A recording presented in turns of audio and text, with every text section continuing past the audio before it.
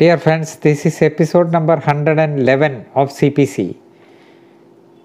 We are dealing with section 11, constructive res judicata. I have cited some of the decisions.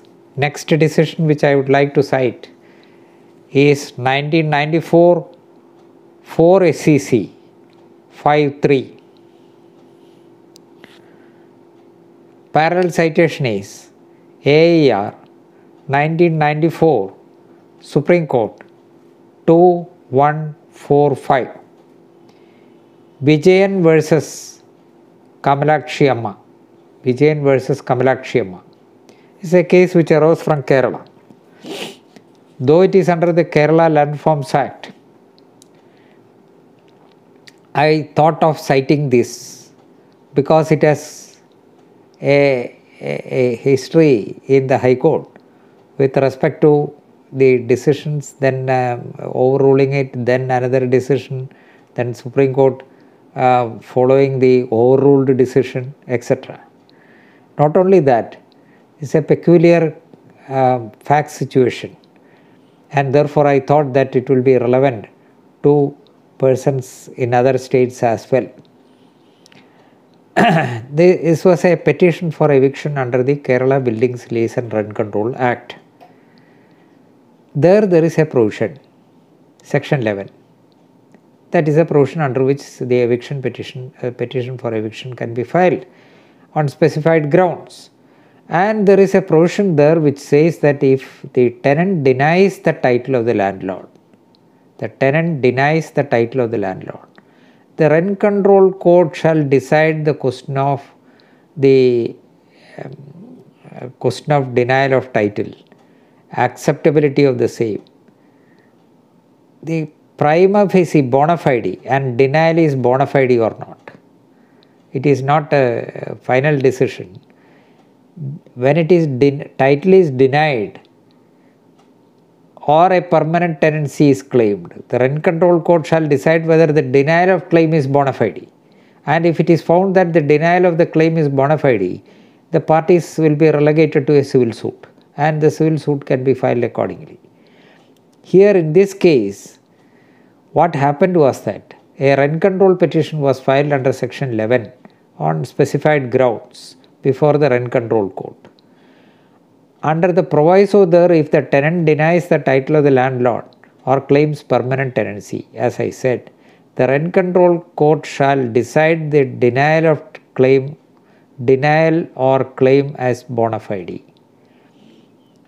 recording such a finding positively in favor of the tenant will require the landlord to sue for eviction of the tenant in a civil court the rent controller had accepted the plea of the tenant to be bona fide and relegated the respondents to seek eviction by a civil suit.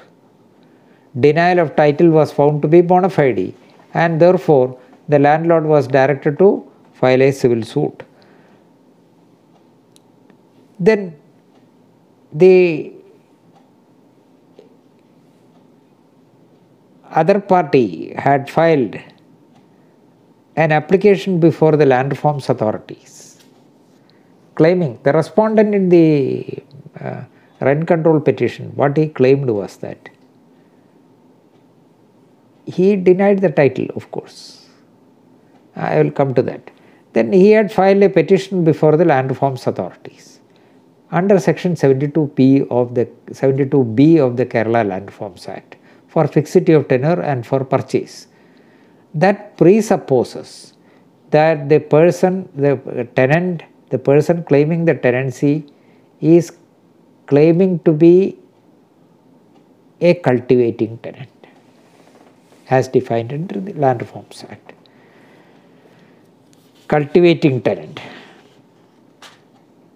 The land tribunal found that the lease was a commercial lease was of a building and it was a commercial lease and therefore it is not an agricultural land and to that extent the application was dismissed then it was held that the, it being a commercial land commercial plot the, the person who claimed filed that application is not entitled to purchase the land. The claim was ejectment of the appellant on the ground envisaged under section 11 before the rent control court. Before the land forms authority, the tenant claimed that he is a cultivating tenant which uh, presupposes that it is not a commercial lease. But the, uh, the land tribunal held that it is a commercial lease and therefore that application is not maintainable. Now we go to the rent control proceedings.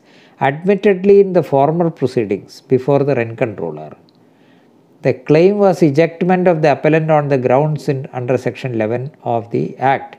The plea of entitlement under section 106 of the Land Reforms Act was available to the appellant in the eviction proceedings and if it would have been raised, the rent controller would have no jurisdiction, would have had no jurisdiction but to proceed further, referring the same to the land tribunal for a decision under 125.3 of the Land Forms Act. That was the procedure at that time. Now there is a subsequent decision which says that 106 of the Land Reforms Act, no reference under 125.3 is not necessary, no reference is necessary.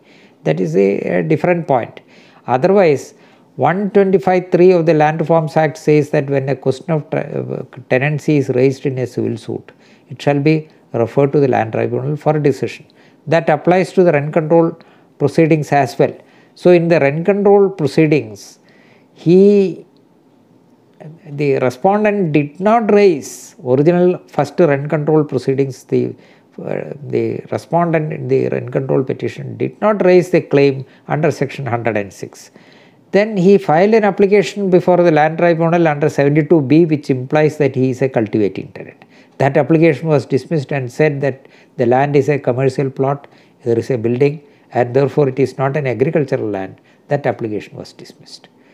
Then he thereafter chose to claim, base the claim under section 106. However, the appellant merely chose to deny the title of the landlords and did not raise the plea of section 106 of the Land Reforms Act.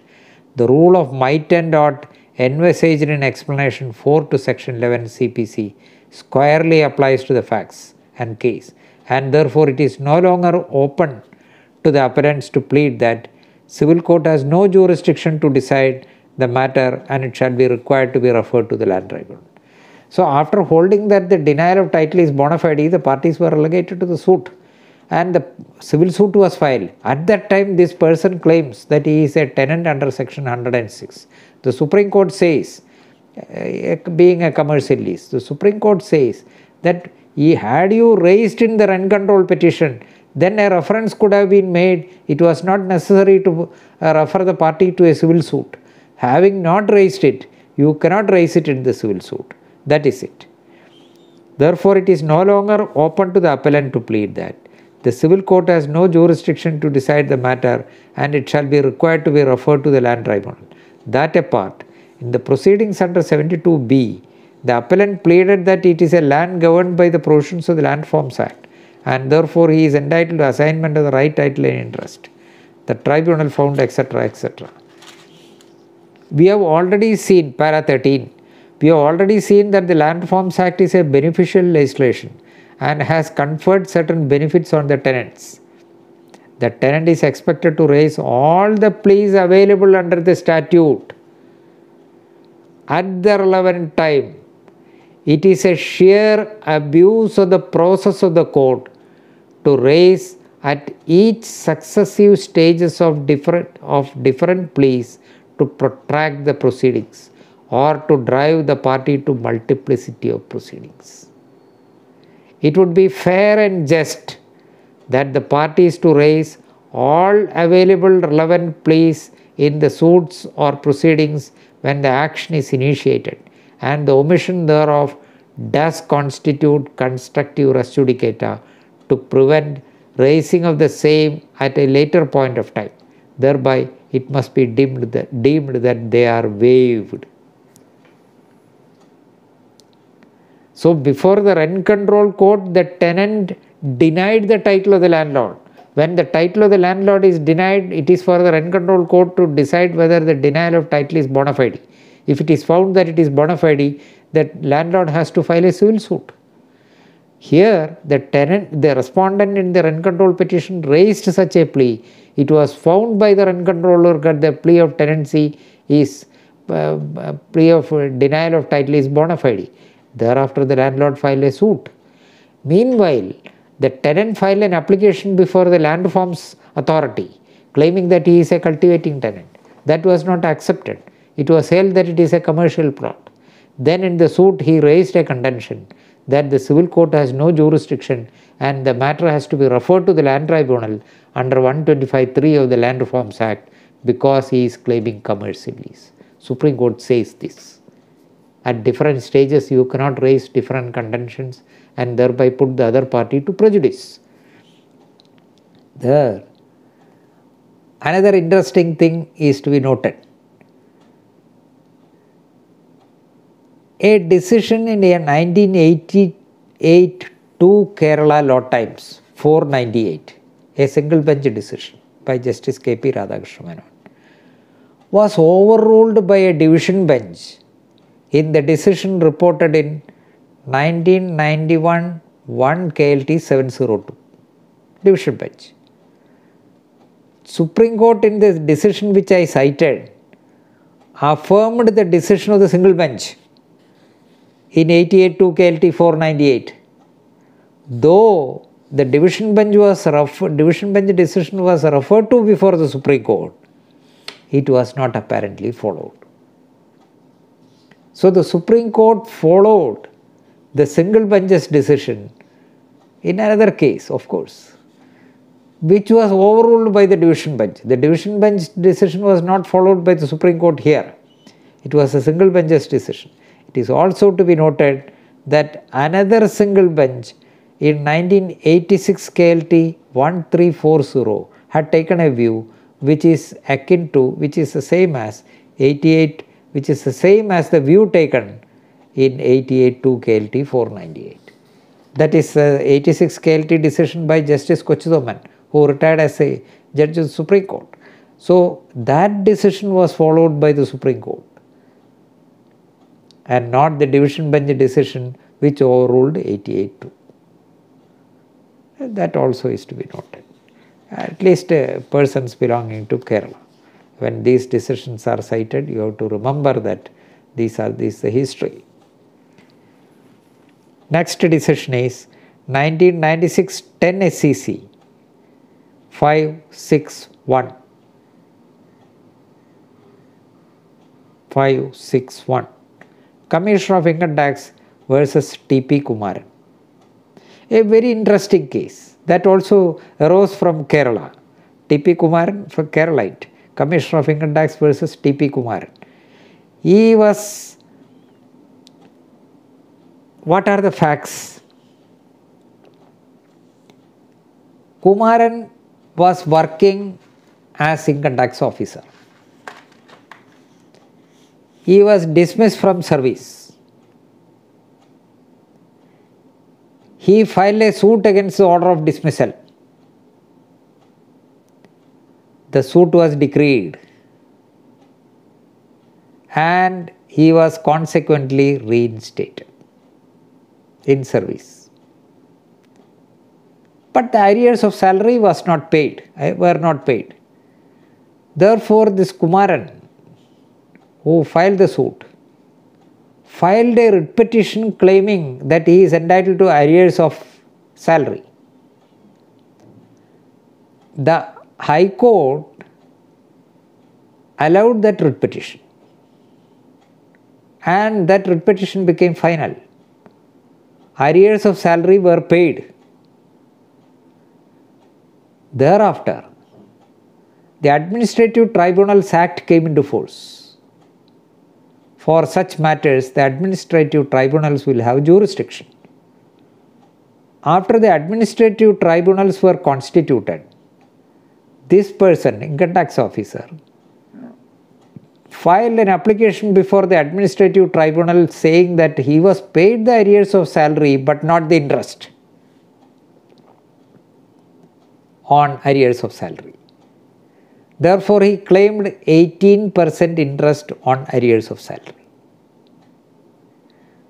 Government raised a contention that when you filed an applic- uh, petition before the High Court claiming arrears of salary, this income tax officer should have raised the plea of interest also. Having not, he might and ought to have raised. Having not raised that plea, he is precluded from raising it in a separate petition before the administrative tribunal. Let us see what happened before the Supreme Court. Paragraph 4. The tribunal has committed a gross error of law. Tribunal allowed it. Administrative tribunal allowed the interest. That was challenged before the Supreme Court. The tribunal has committed a gross error of law in directing the payment.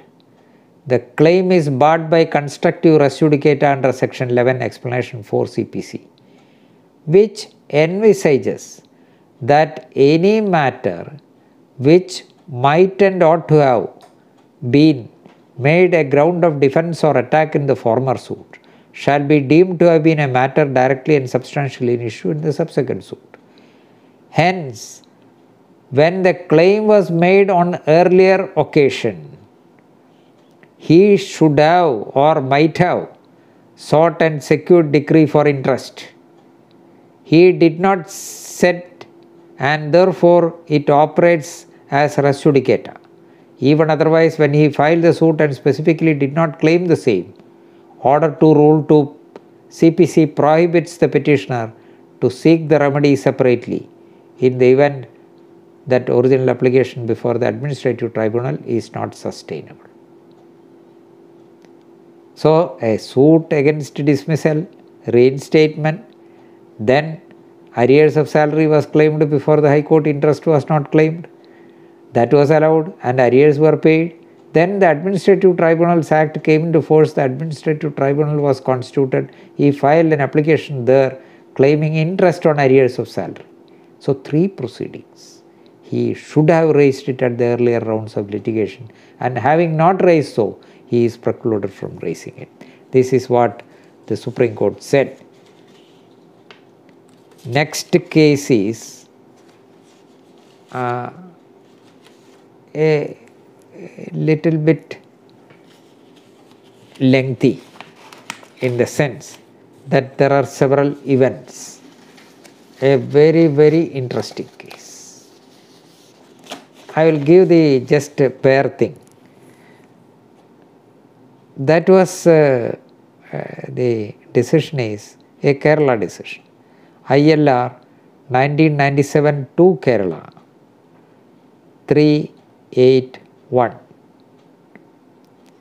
It is reported in Kerala Law Times also 1996 2 KLT 997 and also in Kerala High Court cases 1996 KHC 437.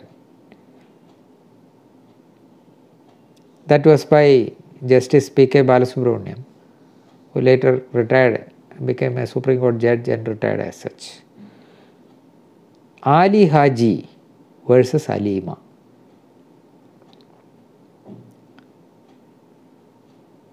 One of the questions decided here is when does a Family Courts Act came? 1984.